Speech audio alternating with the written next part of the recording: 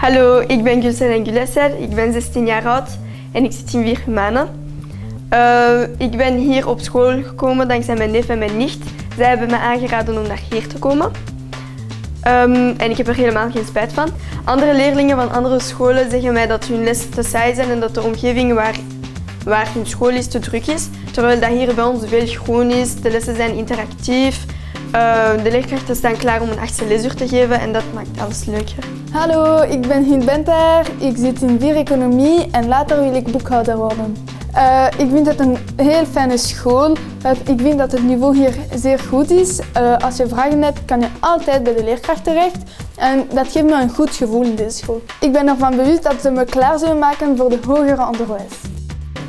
Hallo, ik ben Noor Boujra van het Atheneum van Uckel.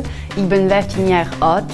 Ik ben in uh, vier economie en ik zou graag later marketing studeren.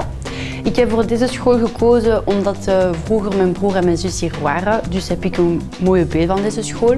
Maar ook omdat ik dat echt prettig vind dat deze school zich in het midden van een bos bevindt. En het is bijna uniek in Brussel.